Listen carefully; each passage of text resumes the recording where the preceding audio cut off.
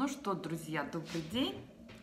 И тема сегодняшнего вот этого нашего небольшого видео – это самореализация и предназначение. Почему я пишу это видео сейчас, когда прошло уже время? Потому что а, к этому сознанию определенному нужно прийти. Что твое предназначение, оно заключается в том, чтобы нести какое-то знание людям и какую-то информацию – и, собственно говоря, когда ты можешь выкристаллизовать собственное предназначение, тогда ты идешь дальше и можешь обучать этому других. Я написала вот такую вот а, схему, на которой никто ничего не видит, но я все поняла. На этом маленьком тоненьком листочке сегодня я написала в крещенский сочельник, собственно говоря, а, все свои продукты, которые были созданы за это время, что я живу на Земле.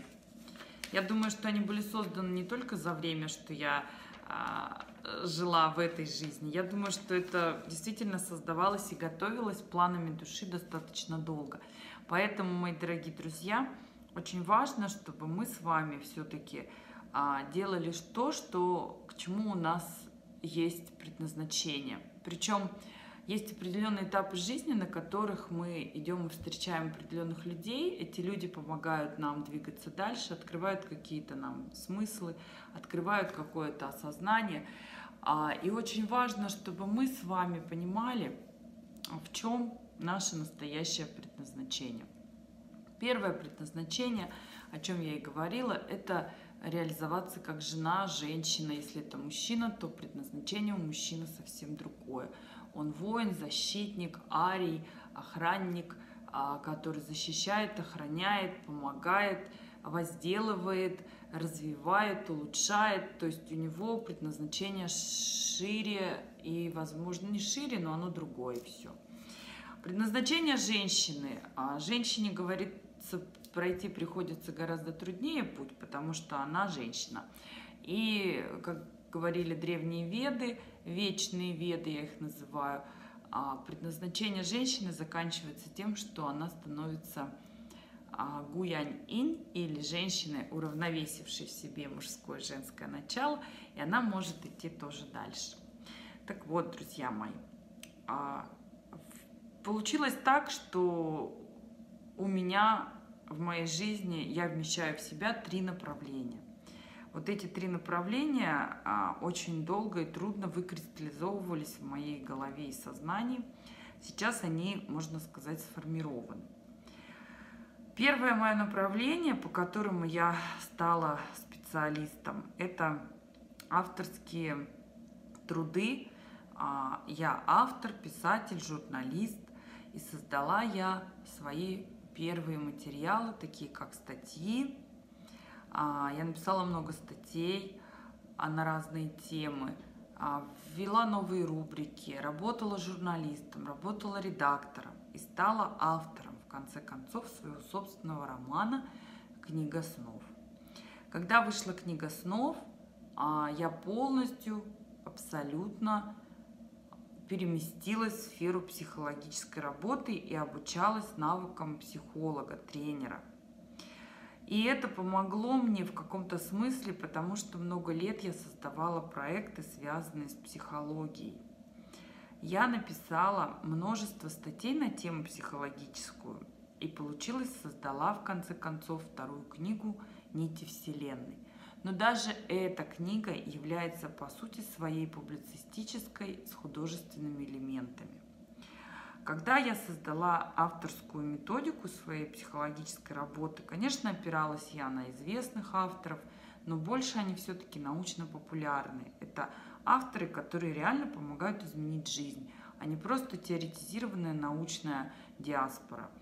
А, и для меня такие люди, как Дипак Чопра, как э, Эстер Джерри Хиггс, такие люди, как э, Тони Робинс, где-то известные наши, как Стивен Кови, а, наши, скажем так, авторы в какой-то мере Александр Свияж. То есть все эти авторы, они помогли мне тоже сформировать эту а, какую-то там свое представление и мое знание, мое интуитивное видение, мои, возможно, наработки прошлых воплощений помогли мне создать свою уникальную авторскую методику. Таким образом, в моем предназначении сочетаются а, две абсолютно разные, но в то же время схожие идентификации. Это писательская деятельность, которая больше, я бы сказала, создается как поддержка, как работа с сознанием, с душой, и она не приносит мне каких-то колоссальных доходов. Она дает возможность зарабатывать а, на других вещах, на другом уровне. Но самое главное, она дает возможность мне помогать людям и быть для них в определенном смысле каким-то светильником, который помогает осветить путь. Вот. Поэтому предназначение – это то, к чему мы приходим в определенный этап жизни. И оно для осознания очень масштабное, очень такое грандиозное. А вот это второе направление, когда я его создавала, получилось, что я провела а, такие вещи, как Woman Design – проекты для женщин тренинговые почти год с выездными практиками на выходе. Я провела проекты, связанные с журналистами и с работой тренинговой с подростками. А, большое количество медитаций, групп практических я провела, можно сказать, терапия такая вот духовная с детьми, подростками, которые ко мне попадали. Но самое главное, я была для многих учителем и наставником. И вот это направление а, учителя, э, тренера, преподавателя авторских проектов и как их создать, как их провести, оно шло также третьим звеном в моей жизни. И того получается, в моем предназначении было всегда три ветки, три ключа. Первый – это души людей, писатель, он всегда знает души людей, это художник души человеческой, да. Литература – это зеркало нашего сознания. Психология – это инструменты нашего сознания. И уже проекты – это как мы создаем с помощью и того, и другого какие-то новые картины этого мира. И осознать это очень трудно. Очень много лет мне понадобилось, чтобы прийти к осознанию своего предназначения. Я была и учителем, и осуждала себя за это. И была психологом, и тоже себя за это осуждала. И была писателем, и отказывалась от того, что я написала книги, которые не продаются или продаются в небольшом количестве, которые надо еще продвигать, а я не умею. И много лет я на эту тему плакала и грустила, и опускала свои руки. Пока, можно сказать, этот этап жизни под названием «Цепочка боли» не был завершен, и я решила стать частью цепочки радости я решила, что я теперь буду делать то, от чего я получаю радость. И это не должно быть всегда бизнес-ориентировано. То есть не всегда это приносит нам деньги или что-то, что нас обогатит. Иногда это бывает вопреки, через страдания, через какие-то там лишения, но мы не можем этого не делать. В этом суть предназначения. Суть предназначения в том, чтобы делать то, за что тебе, возможно, не платят, за что тебя даже осуждают, за что тебя а, где-то высмеивают, но все равно ты это делаешь, потому что это твоя суть, суть твоего внутреннего мира. И сегодня, друзья мои, я наконец-то пришла к такому, а, скажем так, идентификации Борна, так ее можно назвать, да, фильм такой есть, когда наконец-то я увидела эти направления в виде вот этой большой спирали. И как я могу подняться на другой какой-то уровень, как я могу стать шире и больше того, кто я есть на самом деле.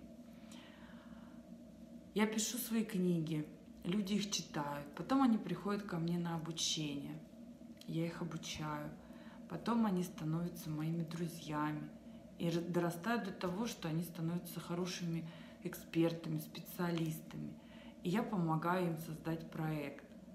А упаковать его а, сделать из него продукты, маркетинг, там, экономический подход, это уже следующий этап. Я помогаю вам, друзья мои, сделать э, проекты своей жизни. Это самое главное. Вот это главная ключевая моя тема. Я хочу, чтобы люди научились создавать свою жизнь как проект.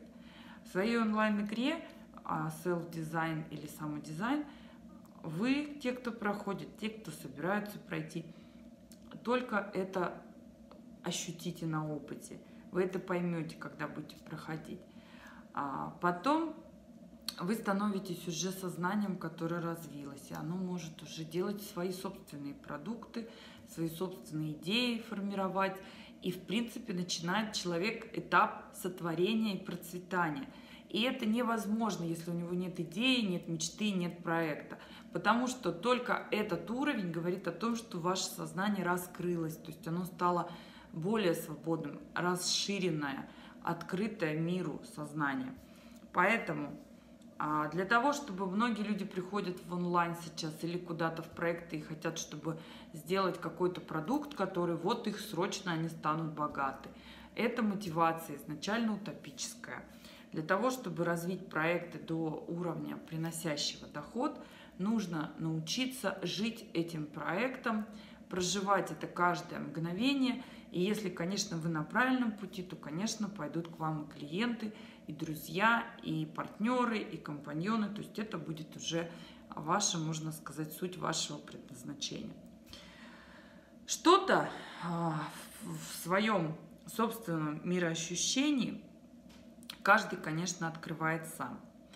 А, пройдя всю эту игру, пройдя все свои уроки, вы научились, мои дорогие друзья, а, понимать ценность каждого дня – ценность ресурсов, ценность того, что у вас есть. Вы научились чувствовать жизнь, а не пытаться ее понять, как мы писали в программах. И вот эти все годы, это на самом деле моя была подготовка.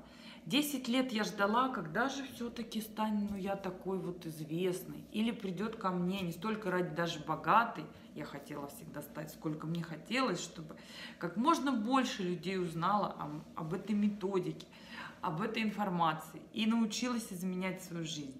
И вот сколько лет я, в принципе, это делала, и только сейчас я понимаю, что это все была подготовка.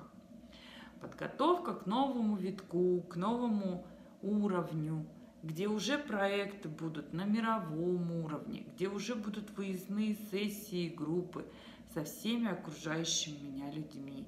И вот в тот момент, когда ты выходишь на новый виток развития, ты понимаешь, что у тебя есть прошлое, которое важно сохранить.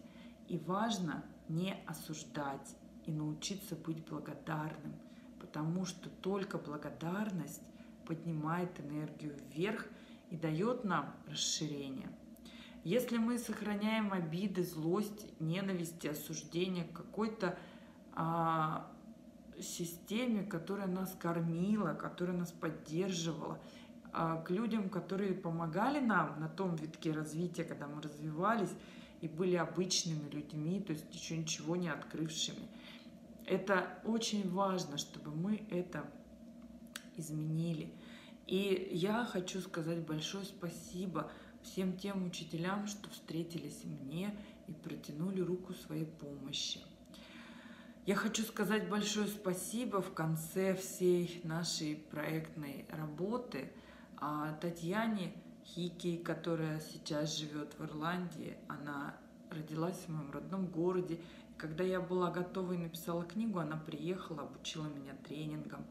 Она взяла меня в группу стажером, показала мне настоящую практику психолога, настоящие тренинги – а не всю эту белиберду, которую дают в институтах и которую 10 лет надо изучать. Она сразу мне показала инструменты. Бери, работай. Я взяла эти инструменты, начала работать. После нее была а, у меня близкая подруга Пятакова Евгения Кропычева. Мы учились в институте. Когда она пришла ко мне в жизнь, она подарила мне, она мне сказала, вот тебе альбомный лист ватман, и ты будешь делать школьную, э, институтскую стенгазету. И так все определилось. я так и делаю теперь стенгазеты, придумываю интеллект-карты, которые называются, собственно говоря, и по ним уже создаю интересные продукты. После этого а, была Наташа Воронова, Бедрева, моя близкая подруга, которая помогла мне создать книгу снов, отредактировать ее, совершить э, прорыв, выпустить ее, финансирование предоставить печатному варианту – а, человек, который скромно и вежливо никогда с меня ничего не требовал, то есть как бы и изначально инвестировал в этот проект как в творческий. А, хочу сказать такие же слова признательности моей близкой подруге, которая меня кормила, Светлана Якимова. Она меня поддерживала, давала мне возможность, помогала мне когда я была в декретах, одинокая. Ну, то есть, когда моя карма давила так, что я не могла ее вынести.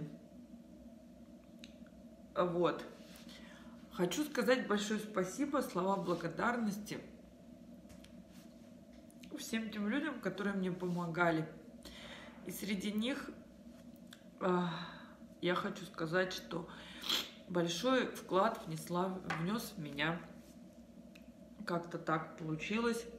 Человек совершенно посторонний, случайно которого я встретила, это Евгений Ходченков, который э, придумал, создал игру «Твой старт». И в, этом проекте я стала победителем 43-го потока. Исполнилась моя мечта, я слетала на море, я посетила Красную площадь, я очень хотела побывать там побывала у Матронушки, я побывала около собора Василия Блаженного. Я посмотрела на все это великолепие нашей страны, на всю ее мощь. Хочу сказать большое спасибо и Радкину Михаилу Викторовичу, который создал для меня площадку. И в этой школе я работала над созданием упаковкой своих продуктов. У меня появился хороший, дорогой компьютер iMac – который помог мне тоже создать эти все проекты. Вот, я вам сейчас покажу. Вот это мой компьютерик любименький. Э, и вот это вот за окном метет метель. Вот это вот обычная моя рабочая площадка школьная, где я очень-очень много создала. Вот, друзья мои. Хочу сказать большое спасибо за то, что я побывала в Москве, на Олимпийских бизнес-играх. И там я действительно поняла, что будущее за этими проектами, будущее за инфобизнесом именно ценностно ориентированным, за голубыми океанами, за возможностью приносить в мир благо через свои продукты, за то, что ты что-то делаешь действительно для людей, но и то же самое ты делаешь и для себя в конечном счете – за то, что я поняла, что все мы в одной лодке, за то, что этот человек, находясь на уровне а, высокого, широкого развития, способен подавать руку помощи и помогать начинающим, тем, кто еще далек до такой истинной реализации именно бизнеса, да. То есть я тогда подумала о том, что я бы хотела, да, достичь такого уровня только как женщина быть, то есть чтобы у меня были свои такие результаты. А Евгений для меня в каком-то смысле, он практически мой ровесник. Это человек, который достоин уважения. А потом случилось такое уже, когда завершение проектов было на всех уровнях, все я создала, все сделала, я встретила Светлану Маркину. Условно встретила, говорится, потому что встретились мы с ней, мне кажется, тоже не в этой жизни. А тут как будто бы, знаете, вспомнили друг друга. И когда я ее встретила в интернете, я ей написала пару слов под ее постом. И она мне написала в ответ, что я гений, и она мне поможет меня, э, как это, мою гениальность вывести в мир и поможет мне на этом заработать. Я это запомнила, это очень классная фраза, потому что Света, она очень чистая сердцем, я бы сказала. То есть она очень пробивная, продуктивная, но она способна искренне любить. И, в принципе, в тот момент я пошла к ней создать вот этот автор-дизайн, проект для онлайн работа с авторами, то есть как сделать так, чтобы это была интересная школа авторов, чтобы люди ко мне шли, и чтобы мы могли а, развиваться, и я могла обучать по такой же своей теме уже, скажем, широкие массы людей в этом направлении. А вот, Света меня обучила, большое спасибо. Появилась Оля Аваткова, которая оказалась тоже с моей родной земли, с моего города Новокузнецка, о которой я писала, как оказалось, в своей второй книге «Пробуждение». Она по своим коренным принадлежностям относится к малочисленным народам Сибири. Наполовину у нее есть шорские корни. И Оля Аваткова, она, конечно, очень светлый человек, который нас объединил, создал нашу команду, помог нам сделать вот эту вот синергию, да, прийти к консенсусу, что ли, да, найти точки соприкосновения, преодолеть эго. Мы все прожгли свое а, эго, свое стремление к власти, к управлению, к деньгам и так далее. И сегодня я хочу сказать всем этим людям большое спасибо.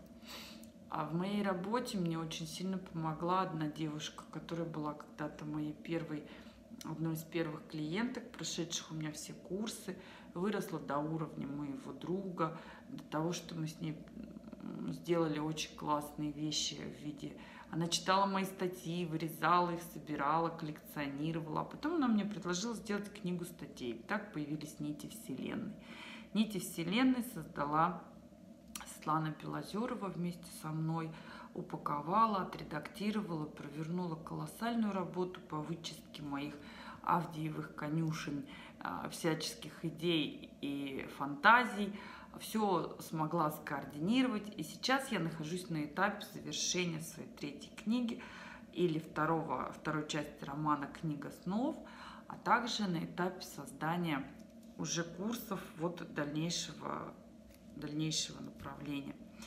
И когда сегодня я это продумывала, и это видео я все никак не могла записать, потому что я никак не могла все это собрать воедино на уровне ощущений, на уровне эмоций, сегодня у меня родилась вся линия направления, как оно происходит, это развитие по спирали, как оно, вот это спиральное развитие мы проходим, и какие уровни мы проходим, да. Приходит человек со своей маленькой идеей, а он ничего не знает о мире, он еще спящий, он проходит три дня эффективного мышления, он понимает, как мы должны мыслить, чтобы наша жизнь была эффективной. Точно такая же похожая программа – со своими э, тонкостями, штуками есть у Светы. Называется она «Секреты эффективной личности», потому что больше про мотивацию, про привычки, про результаты. А вот. Потом идет 21 день пробуждения сознания. У Светы идет своя а, тоже а, история, где она 21 день также пробуждает сознание людей с помощью своих методов и дает мои программы программа плюс 4 в вашу пользу. После этого рождается игра, самодизайн. женщины, и мужчины все входят в поток создания своей матрицы сознания. То есть они проходят уроки, когда в течение трех месяцев они создают себе новую матрицу звезды Давида, шестигранную матрицу сознания – После этого им открывается четвертый уровень или сакральные знания. Мы уже создаем цветок жизни. Сакральные знания создают нас как уже совершенное сознание, как сознание, которое способно к дальнейшему росту и трансформации. После этого мы проходим в этап отдыха, месяц отдыха, перерыва, и человек, интегрировав все свои структуры и каналы, входит в проектирование своего дела. У Светланы это человек-продукт. Люди создают продукты, люди приходят уже многие с бизнесами, и она их ведет по своей методике, тоже очень эффективной, на мой взгляд. Я тоже в каком-то смысле часть результата ее методики, потому что она много-много мне дала на проекте, который я тогда осваивала, именно бизнес-уровень. После Ходченкова она тоже мне дала достаточно большой пласт понимания, как это работает, ну и, конечно, продюсирование. После того, как мы проектируем уже свое дело, свои идеи, это происходит три месяца, мы создаем с вами, условно говоря, новую, новое сознание, которое создает новые проекты. И начинается новое время. Представляете? То есть такое время, когда люди сотворяют удивительные вещи, матрицу.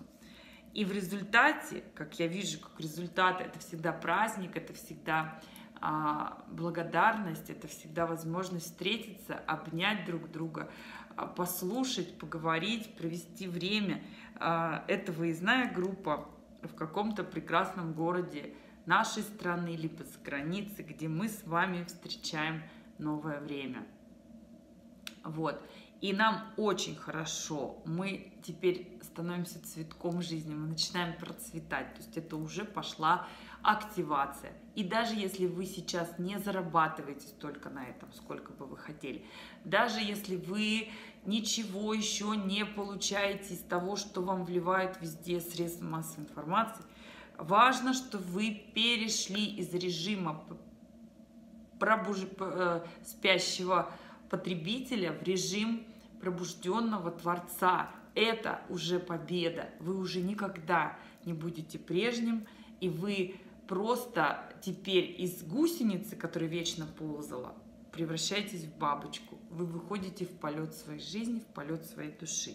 Поэтому, друзья мои, вот что такое предназначение? Это когда ты пришел к центру своего сердца. И ты как бы пришел домой, ты больше никуда не торопишься, тебе не надо никому что доказывать, ты больше не опаздываешь, ты в центре себя. Даже если кто-то желает тебе зла, кто-то желает тебе чего-то и пытается тебя ограничить, кто-то пытается влезть в твое пространство. Ты все равно это ты. И вот эту внутреннюю структуру никто и никогда не сможет разрушить. И когда придет время, эта структура сможет подняться и отправиться в свое дальнейшее путешествие. Я думаю, в какие-то более удивительные миры. Хотя и этот мир прекрасен настолько, что одной жизни бывает так мало, чтобы его осознать и почувствовать на опыте. Сегодня такой прекрасный день, крещенский сочельник. И сегодня я с радостью записала для вас это видео. Вы тоже часть этой команды, этой программы нового сознания и нового времени. New Time – это программа полной активации и пробуждения человека. Как когда-то сказал Тони Робинс, у него есть свидание с мечтой – вот у меня это будет новое время и новое сознание. И мне кажется, что это просто прекрасно, что мы с вами прошли и еще проходим, и, возможно, еще будем проходить, являемся частью этой маленькой мечты.